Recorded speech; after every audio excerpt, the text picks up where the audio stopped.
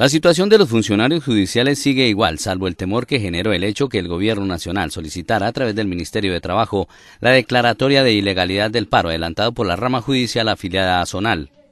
Pero eso no nos asusta, porque siempre ha sido la misma forma de reprimir estos movimientos, ha sido con la declaración de ilegalidad.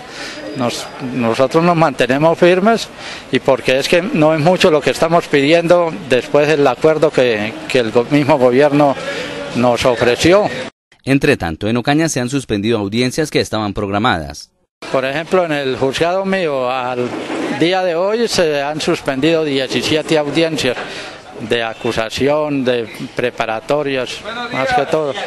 Esto con las implicaciones que traería los vencimientos de términos con procesados que quedarían libres.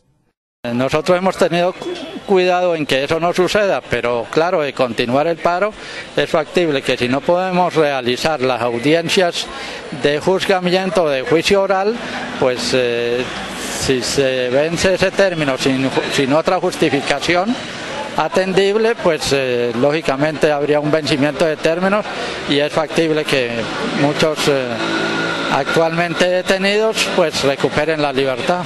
Entre tanto, los abogados litigantes también están a la expectativa de lo que pueda suceder en las próximas horas con el paro de la rama judicial.